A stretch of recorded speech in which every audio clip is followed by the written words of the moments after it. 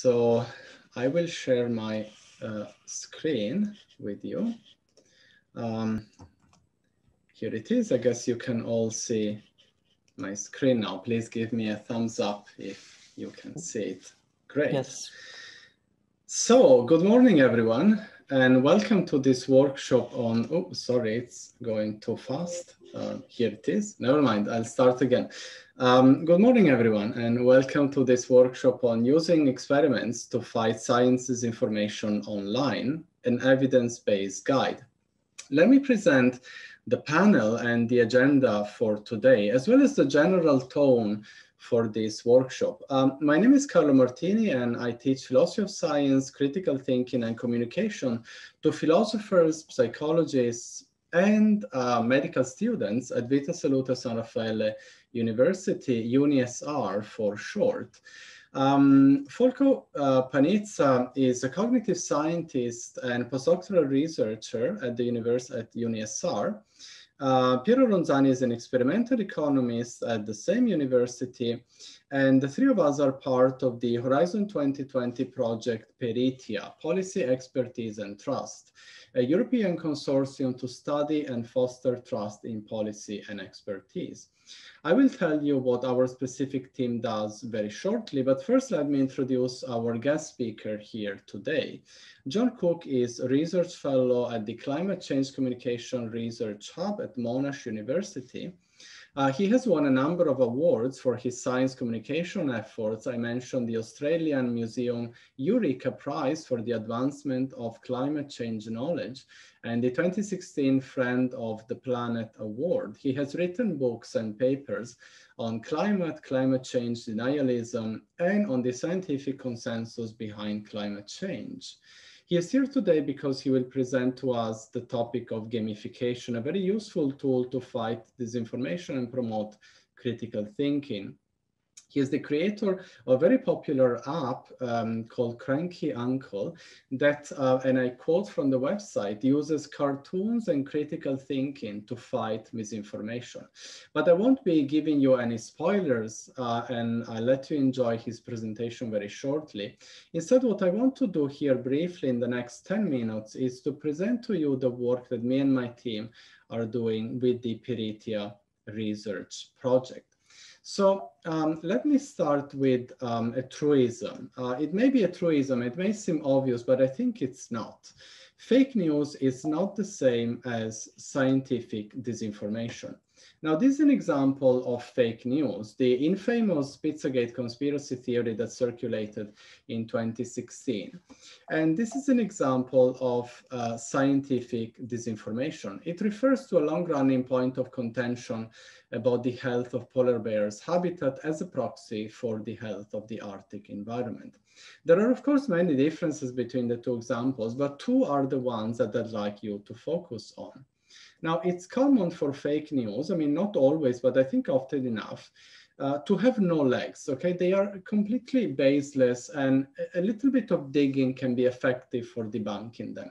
Well, not so for scientific disinformation. Scientific disinformation has a solid evidential basis in pseudoscience and pseudo expertise.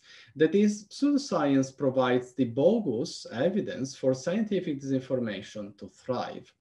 Uh, I like to represent the infosphere of scientific disinformation as the branches of a tree that has roots in pseudoscience.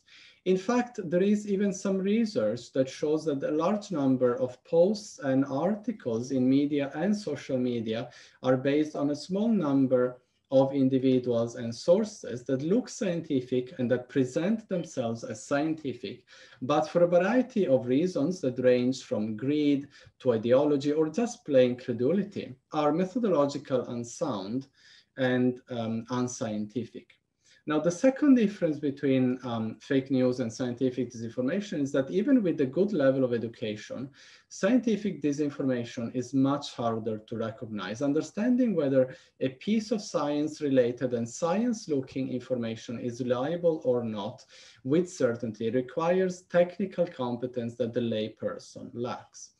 Again, I like to represent the epistemic um, environment of scientific information as and, sorry, this information as follows. In the infosphere, there are clearly identifiable experts on the one hand, and on the other hand, clearly identifiable non-experts, okay, people who are not experts. I think almost anyone would recognize that my um, car mechanic is not an expert on climate change matters. But in between these two categories of people, there is a third group of people with a variety of backgrounds and motivations that look like experts, to the untrained eye, but are really non-experts, or at any rate, their expert judgment is compromised. I like to call them the wolves in sheep's clothing with a, I think, very um, useful metaphor. Now, this third group of people is what allows scientific disinformation to thrive and what provides the roots to, the most, to most of the disinformation we find in blogs, uh, social media as well as, unfortunately, traditional media.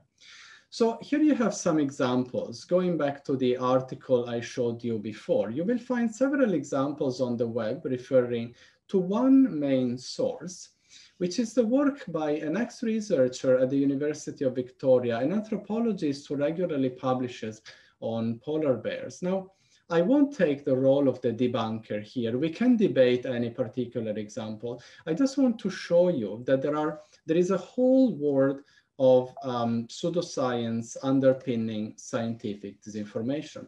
So here are some examples. You can really choose your topic and, and you'll find some examples.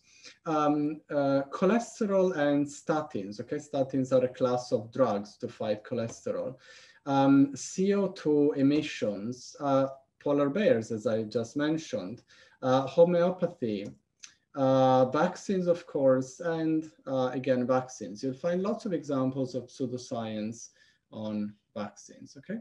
And this is the slide that maybe I like the most because it's actually not my slide. It's a slide I got from an Italian doctor. His name is Riccardo Caccialanza. And I met him at the Congress on Pancreatic Cancer.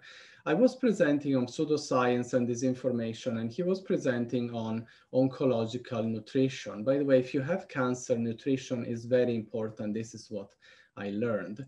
He showed me this slide and told me that the serious problem for his profession as a doctor assisting oncological patient is the huge amount of fad diets and other pseudoscientific information circulating among patients and sometimes worsening their already fragile condition. So what is uh, the role of our project, okay, in all of this? Well, we are part of a European consortium of universities headed by the amazing uh, Maria Baghramian, you see her in, in the picture, at University College Dublin. And we study information, disinformation, expertise, and trust. The uh, sub-project and the team that I have the honor of directing in Milan uh, is working on behavioral tools for building trust. We believe that trust is very important for science, uh, but people should place their trust wisely. People should trust the trustworthy. Well, how can we achieve that? How can we teach people to trust the trustworthy? Um, we know that this information affects both beliefs and behavior. Uh, our project or sub-project targets both. But for this workshop and for the reasons, for reasons of time, we will focus here on beliefs. Our goal is to devise intervention targeting scientific disinformation because this information affects trust in science and in experts. Nothing new so far. This is what many news outlets, groups, and even social media have been trying to do. In particular, in the past few years, there has been an acceleration of this kind of activity for, I think, obvious reasons. But how do we do this with our research group? Well, we design experiments, social experiments. Well, why experiments? We think that interventions should be evidence-based um, to save financial resources, for example, by focusing on what actually works, and to gain democratic legitimations of policies that work. So by running an intervention in an experiment, we can prove effectiveness uh, in order to gain knowledge rather than just going with a guesswork and uh, in order to have good selling points also to media outlets and policymakers. Now, this is the work that uh, Folco Panizza um, will tell you all about it in, um, in a little bit. But before that, we have a couple of things to do.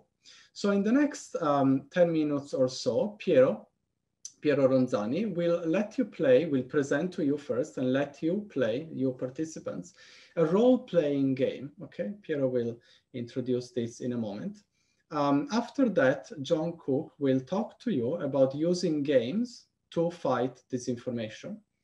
Then um, Folco will uh, present to you the results from our own experiments, uh, our team. And finally, we will have, um, I think about 20 to 25 minutes of discussion time for your own questions and comments. So without further ado, let me now give the floor to Piero. Uh, he will present to you this role-playing game. So start thinking about what would you do if you were the policymakers. Piero, please. Uh, thank you, Carlo. Um, so, hi everybody. I see there are uh, about 30 people uh, now in the uh, in the workshop. Uh, what we ask you to do is to you're going to be splitted in uh, in groups through breakout rooms, and we're going to give you the link in a few seconds about um, this Google form and uh, your task will be to choose one uh, one person uh, that will fill the, the form for the group and to submit the discuss and submit the, the form uh, as Carlo was saying, what we ask you to do is put yourself in the shoes of a policymaker. And um, this is the, the, example. So you're going to see a Facebook post containing some uh, uh, pseudo scientific information. And what you have to do is to come up with a strategy to help people, help internet user to detect this fake news. And the rules of the game is that the intervention should be online. It should be uh, as cost effective as possible. And uh, um, and that's it. Only only this. Okay, so now I ask Folco to write, yeah, I already put uh, the link of the Google form in, in, the chat. And in a few seconds, we're gonna, you're gonna be redirected to uh, different breakout rooms. And after you complete the form, we, uh, I ask you to come back to the main, uh, uh, to the main Zoom room. Let me just add, uh, we just need one form per group and so yeah, you don't need to all fill the, the form. I'll just now uh, divide you into uh, rooms. So now you should see the rooms. So 10 minutes for this. We will reserve 10 minutes. So um, I hope you enjoyed this little um, role-playing game. Now, Folco will, uh, sorry, Piero will do the work in the background and have a look at um, your answers and ideas, and there will be a debriefing in about uh, 20 minutes or a bit less. But now let me give the floor to John Cook for his presentation. John, please.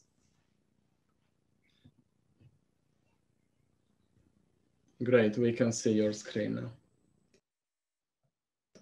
We cannot uh, hear you though. You need to mute. You're still muted. I lost the unmute button, sorry. Now we hear you as well. A year of Zooming and I still forget to unmute myself. It's so embarrassing. Okay, so um, I'm going to very quickly talk about two um, studies that I've published on this, the whole theme of this um, workshop about using experiments and collecting empirical evidence to inform um, effective ways to counter misinformation. Uh, and then that will, um, both those studies have really been the foundation for, for my work using gamification as a tool against misinformation. The first study um, I conducted uh, during my PhD, and it was about uh, using inoculation to counter misinformation. Uh, and in this study, I ran an experiment where I showed people some misinformation about climate change and the misinformation was taken um, uh, verbatim from a website, the Global Warming Petition Project. Uh, the misinformation is actually quite similar to the example that we just used in our, um, our breakout rooms. Uh, and so I showed people this misinformation and, and, then I measured the effect that it had on people who were just shown the misinformation. And this is what I found. I found that people uh, exposed to climate misinformation um, had a reduced um, or perceived consensus and a lot of other climate attitudes, acceptance of global warming, support for climate action. Basically, cl climate misinformation had a negative impact but uh, not the same across everyone across the population. The horizontal axis in this graph is political ideology. And I found that people who were politically conservative were affected more than people who were politically liberal. Um, uh, and so what that tells us is that misinformation, or climate misinformation at least, is has a polarizing effect. Uh, it splits the public apart. So they end up further apart in their beliefs after being exposed to misinformation. Uh, with another group in my experiment, um, I showed them some uh, an inoculating message first before I showed them the misinformation. And this is an excerpt of the inoculating message. Uh, and it doesn't mention the global warming petition project at all. Instead, what I talked about was a technique used in misinformation called fake experts which is basically using people who convey the impression of expertise without actually possessing the relevant expertise as a way to cast doubt on an expert consensus.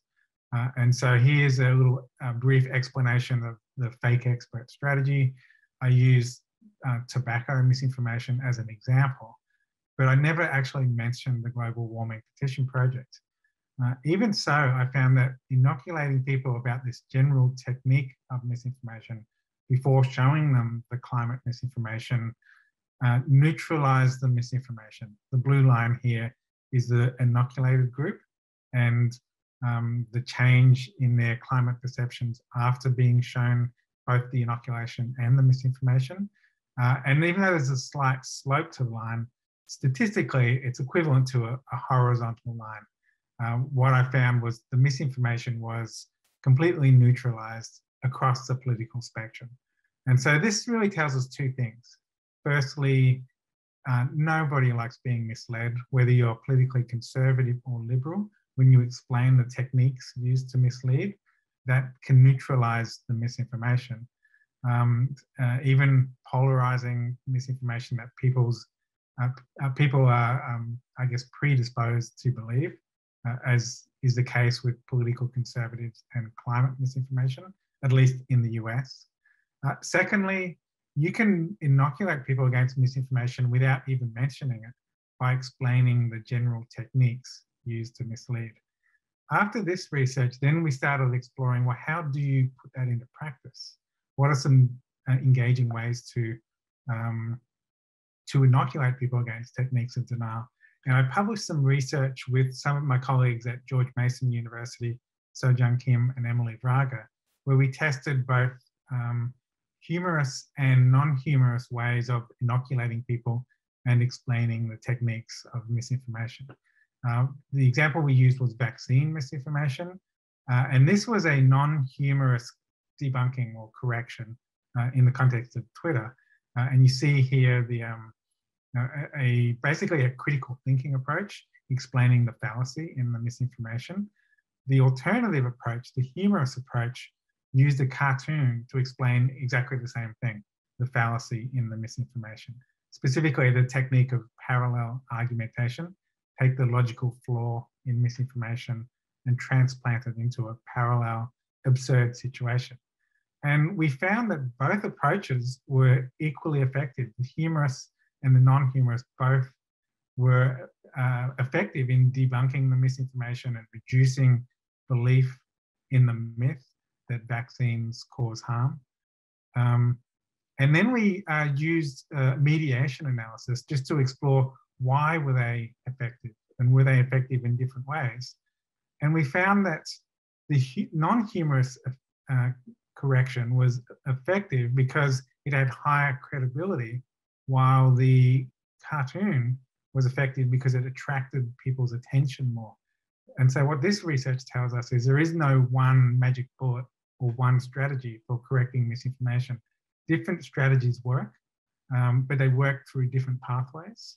Uh, but the interesting thing about the cartoon condition was people were also more likely to share it, to uh, comment and like it, and also humorous corrections we found increased people's information seeking. They want to know more about the topic after reading that. Uh, and so that leads me to, I hope I've not gone too long. I've got, can I, have I got two or three more minutes, hopefully? Okay, Sorry, great. yes, so, so three, three more minutes. Yes, go ahead. That's perfect. So that leads me to like the last thing, talking about gamification. A big challenge for me was these are all the different techniques of denial that you would need to explain to people in order to fully inoculate them against all the different flavors of misinformation. And that landscape, all that information is an education and communication challenge. How do you get people to internalize all that information and all those techniques? Uh, and what I found was gamification was a really powerful and engaging tool to achieve exactly that. So over the last couple of years, we've been developing the game Cranky Uncle, which has the purpose of trying to inoculate players against uh, the techniques of denial by getting them to play through this game and learn the techniques of denial as if they're they're becoming a cranky uncle themselves. So as they play the game, uh, cranky uncle mentors them on on all the different ways that he denies science and I used lots of cartoon parallel arguments to use cartoon analogies to explain all the different fallacies. Uh, but most importantly, the game gets you practicing critical thinking. It shows you examples of misinformation, and you have to try to identify what is the technique of denial or the fallacy in each example. And by doing that over and over and over again, the game incentivizes you to practice critical thinking uh, and internalize all these different techniques. Uh, and the further you get into the game, the quicker and easier it is to spot misinformation. In other words, become more resilient against um, the misleading techniques in science denial. Uh, one last thing, we're um, in the process now of translating the game, which is currently only available in English. Uh, and we're uh, just starting to translate it in different languages. French, uh, sorry, German is the first language with, as our test. And then we're going, once that's ironed out all the wrinkles with the process, then we're going to start opening it up to other languages. So anyone interested in uh, volunteering to help us with translations, just go to the URL at the top of this slide. Uh, and lastly, if you want to have a look at the game, you can play it on iPhone, Android, or on browsers. So it's a free uh, freely available game. Anyone can play it as long as you have internet access. So feel free to follow those URLs. And I'll stop there and, and hand it back to, um, to Carlo, I think. Thank you. Thank you, John, for the extremely interesting presentation. Everyone loves uh, cartoons and games, so maybe that will be the future of uh, fighting scientific disinformation. And I'm sure everyone is already uh, has already their phones in their hands uh, and are downloading the, the app or going to the browser. So thank you again. Uh, now let me introduce to you um, Folco Panizza. Again, he's a um, cognitive scientist, and now he will talk to you about uh, our own um, research at uh, Vita Salute San Raffaele University, what, what we've been doing regarding um, science disinformation and how to uh, help people um, trust the trustworthy. Folco, please go ahead. Thank you, Carlo. Um, and of course, thank you, John. Um, so here I'm going to be briefly presenting some of the results of one of our experiments uh, concerning also the activity of the, of the form that you just filled. And um, so I, I, show you what we try to do, uh, uh like placing ourselves in, in the shoes of uh, a policymaker. And uh, so let's start with uh, giving you some background. So we try to follow two uh, strands of, uh, of intervention of, of proposals.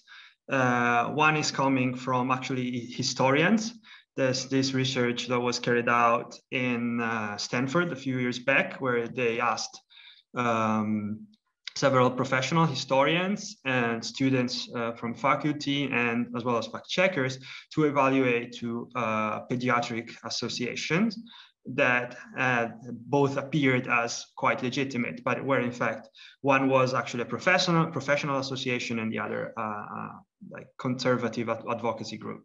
And what they found was that fact checkers overwhelmingly uh, were able to pinpoint which was which of the two sources was, was the more reliable.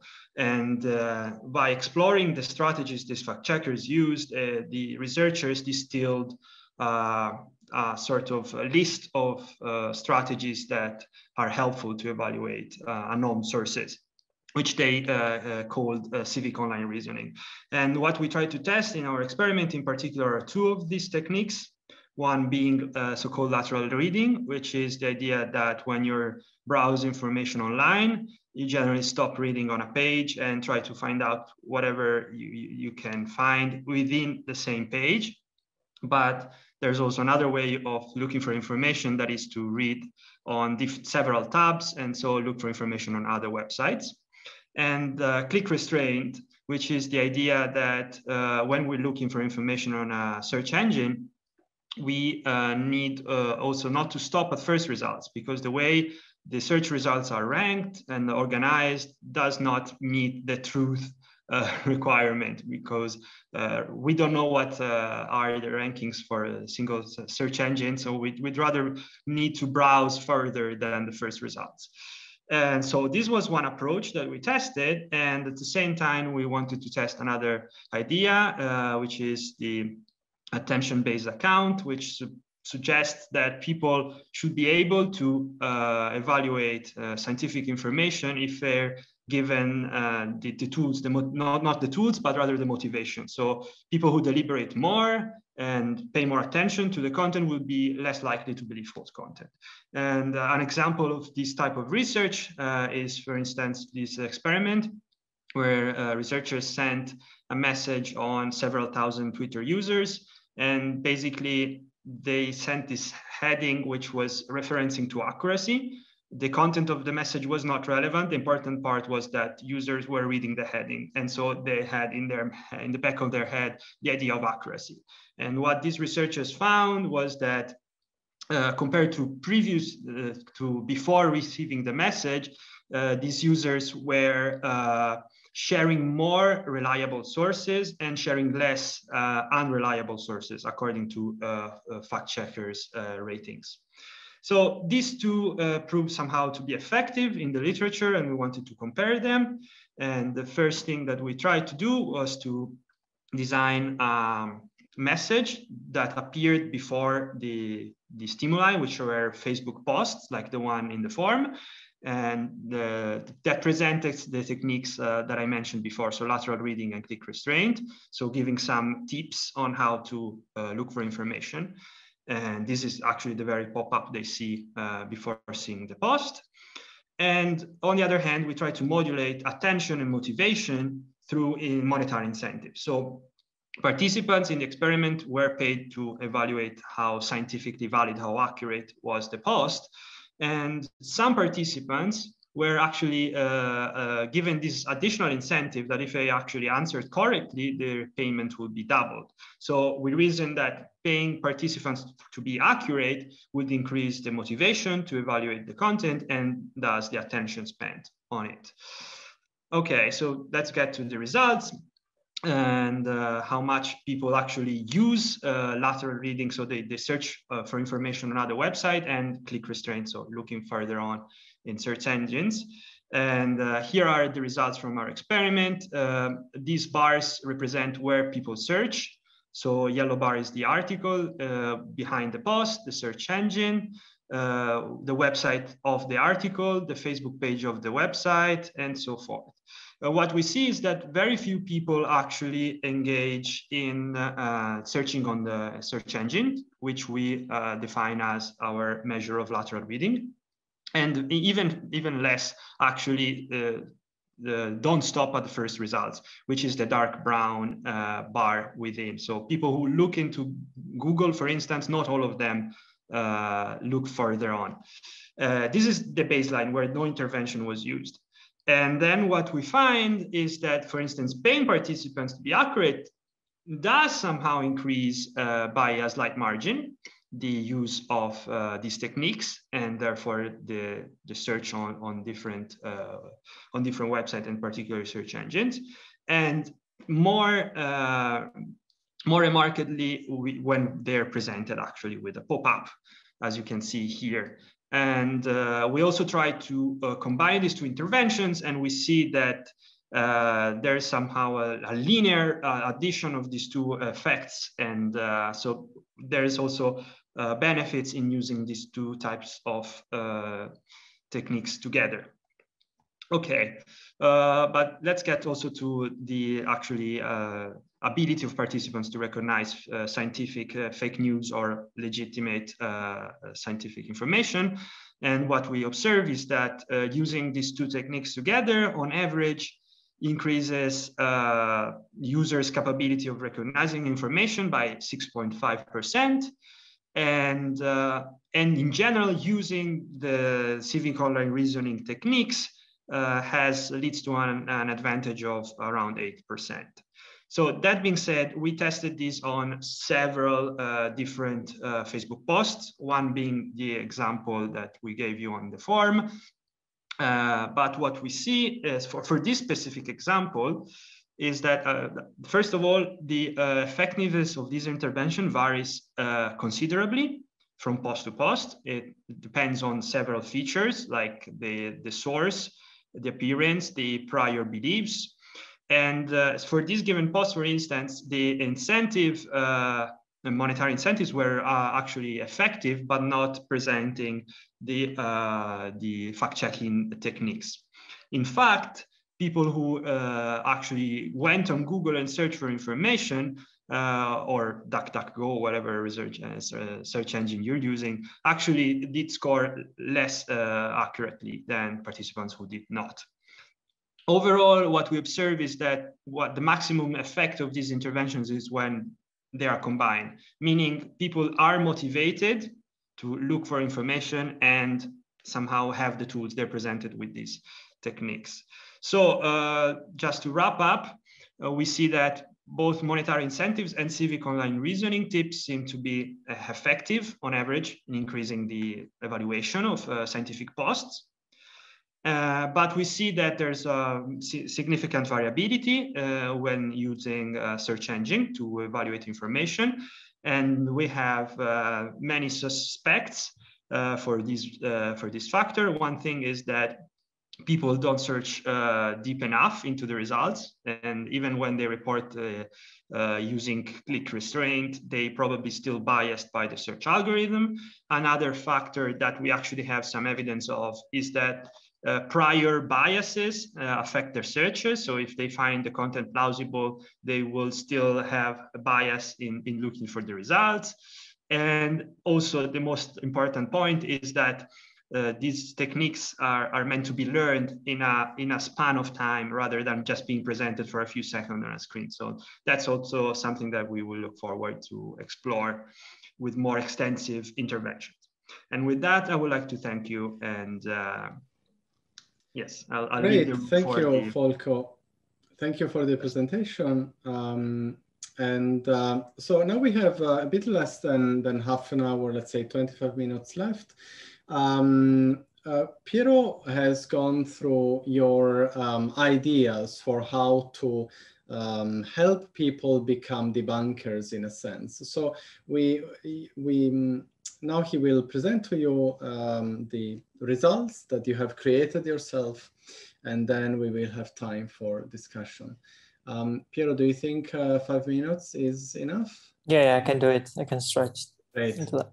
Uh, so thank you for your uh, your answer. While you were listening to the presenter, I was rushing at doing some some very basic analysis, um, and uh, I'm gonna share now um, the results. Uh, let me Okay, you should see it full screen now, right? Okay, so um, so here are the results. Uh, as you see, the the technique that has been the, the, the um, type of intervention that has been chosen by the majority of the groups is to work on techniques. So something that has to do with uh, what we uh, Folco presented. Uh, so the idea that you you expose people to techniques that then are helpful to uh, fact check.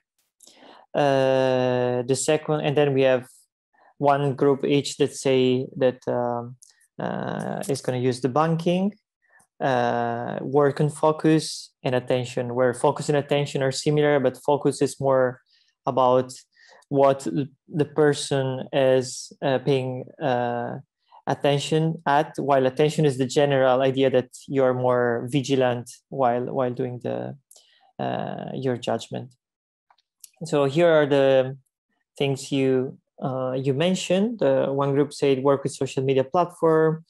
Um, the same exact post with the opposite message saying that the climate change is an emergency. Uh, board of scientists who can act to intervene with enough funding to judge scientific disinformation, counter propaganda. So it's more um, a, a, list of things, a list of possible intervention that might have might have an, uh, uh might help. Um, we have uh, another group is say ad fact checking warning, where people can click to get uh, correct information, and this is what Facebook and Twitter are kind of doing in reality. So putting uh, a sort of pop up when the, the the topic is particularly relevant with a possibility for people to to get uh, verified information. Um, here a bit more cryptic um, answer. So the, the UN are scientists as well. Maybe in the discussion you can um, tell us what, what you refer uh, to with this.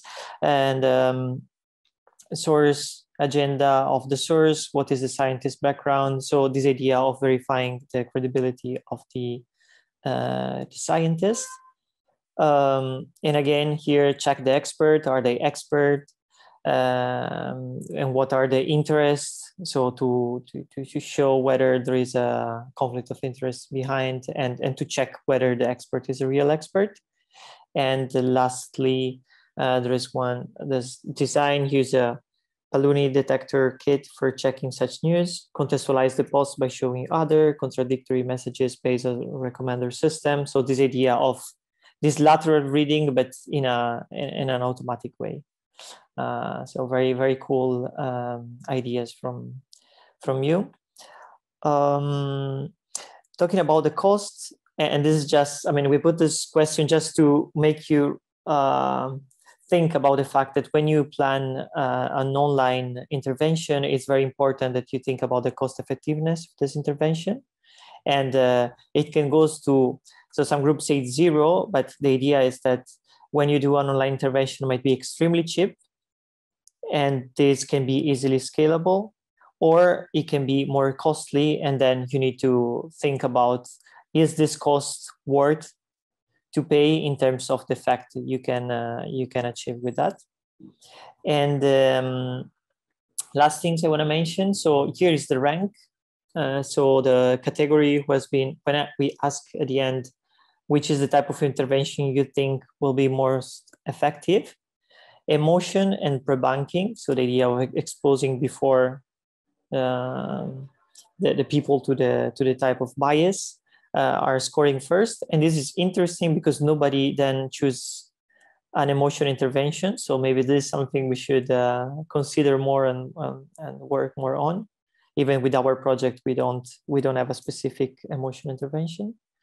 Uh, and then focus techniques debunking motivation and attention.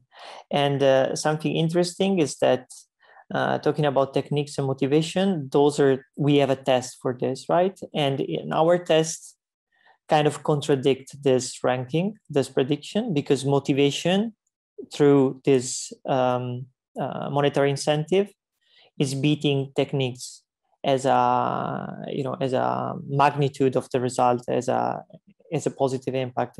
And this, if we have a take home message for this, is that we really need experiments because intuition is not enough. We really need to test and see what is working better. Um, and with this, I thank you. And uh, I think I leave the floor to Carlo again. Great. Thank you, Piero. Very, very interesting. Uh, I, I really like the last message in a sense. I mean, it's of course we cannot do without intuitions. Uh, whenever we act in in uh, you know if we apply a policy in in Italy or in the US or in Australia, we need intuitions because we need to go locally. However, if these intuitions stay in the um, you know tacit knowledge box um, well, we cannot really know whether our intuitions are good or not. And that's why, um, well, John has run experiments and um, we have run experiments to try to understand actually what works and what can really be effective.